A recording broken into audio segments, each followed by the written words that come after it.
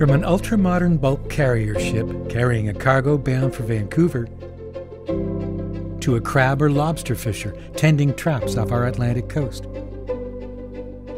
to fishers bringing in their catch off Kuujjuarapik as their community has done for thousands of years. Our relationship with Canada's oceans, lakes, and rivers is essential. The movement of people and goods by water has propelled our economy and has shown us the importance of respecting and protecting our natural environment.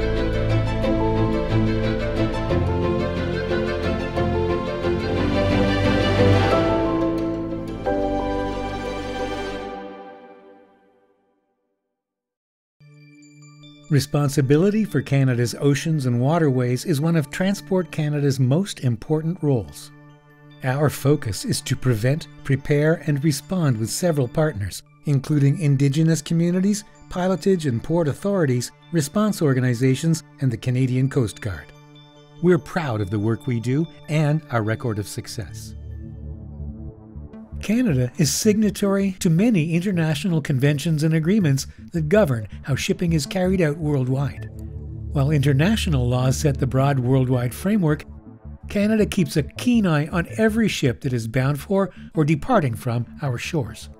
When ships reach Canadian waters, Canadian rules and regulations set a tight safety framework for all vessels. Hi, I'm Rob Freak from Atlantic Region of Transport Canada. I've spent almost 20 years working on marine safety dedicated to the protection of this extraordinary environment. Our Atlantic ports receive ships from all over the world. Let's track the voyage of an inbound commercial ship loaded with cargo and bound for Halifax. Four days, or about 1,500 nautical miles out from Canadian waters, all ships inbound to Canada make initial contact with Transport Canada at the Marine Security Operations Centre to provide pre-arrival information about the ship, its destination, tonnage, cargo, crew, and more. This information is shared with the Department of National Defence, the RCMP, and the Canada Border Services Agency as part of a comprehensive security threat assessment. Ships are also required to exchange or treat their ballast water. This prevents foreign organisms from coming in with ships as they sail into Canadian waters. Before entering Canadian waters, ships contact the Canadian Coast Guard for what's known as a 24 hour report. As part of this report, the ship's master must submit a sail plan and report any mechanical deficiencies or operational requirements the ship may have. As the ship gets closer to Canadian waters, it must also switch to low sulfur fuel to reduce emissions, which improves air quality for everyone. Transport Canada's National Aerial Surveillance Program is an essential part of Canada's efforts to protect the maritime environment and marine life, while ensuring a safer shipping industry. As ships navigate along the Atlantic coast and in our ports, NASP aircraft monitor vessel traffic, identify oil spills, and other marine pollutants, and may track the movement of endangered whales. Because ships know they could be seen at any time, NASP is a powerful deterrent for ships discharging oil at sea. Large ships entering Canadian waters must have a contract in place with a certified Canadian response organization to assure they are well prepared and can respond quickly should an oil spill occur. The polluter pays system ensures that vessels arriving in the Atlantic region share responsibility for an oil spill in Canadian waters.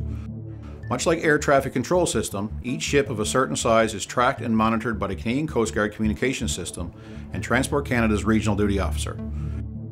The information about the ship, its previous ports of call, itinerary, and any issues or problems the ship may have is continually updated and is critical for the safety and security of all vessels and ports in Canada. As ships enter Canadian waters, local knowledge is crucial. It is where experienced marine pilots come into play. Transported by small boats, pilots are required to be on board to guide large ships when they enter local waters.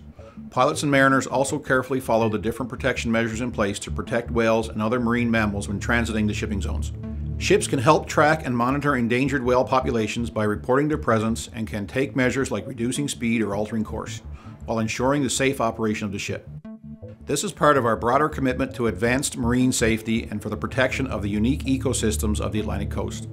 Foreign ships may also undergo a port state control inspection carried out by a Transport Canada Marine Safety Inspector.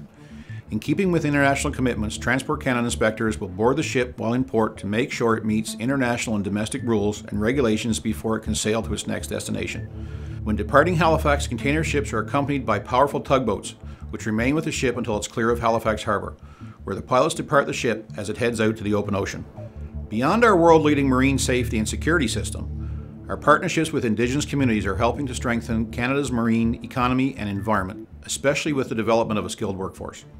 To create jobs and further increase marine safety in Indigenous and coastal communities, we have developed a marine training program across three regions to help underrepresented groups such as women, Indigenous people, Northerners, and Inuit access marine training and job opportunities within the marine industry.